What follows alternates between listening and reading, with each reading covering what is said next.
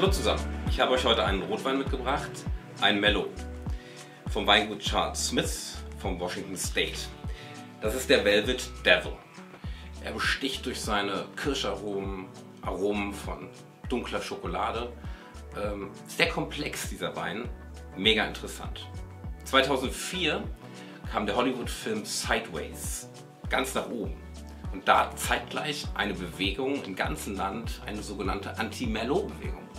Und Charles wollte einfach dieser Bewegung entgegenwirken, kreierte diesen Wein und überzeugte seine Kritiker sofort, die den ersten Schluck genommen haben. Probiert's aus, absolut empfehlenswert.